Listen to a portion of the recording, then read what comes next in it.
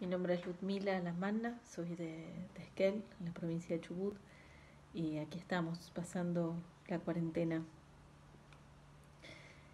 Les voy a leer tres microrelatos. No son poesías, pero se parecen bastante a poesías. Lunares. Las mujeres tristes no llevan lunares. Así decía la abuela Antonia cuando en el programa de Susana alguna diva se hacía la afligida. Por eso los días de despedida visto polleras a lunares, camisas a lunares y hasta bombachas a lunares si hace falta. Entonces sonrío, aunque el cuerpo se me llore entero, sonrío en honor a Antonia. Hermanas. Ana espera que su hermana se disfrace de madre y la cuide. Cada mañana da respingos, aullidos y agita los brazos, y la hermana nada. La mira como quien ve un cuadro, el fotograma de una escena tediosa.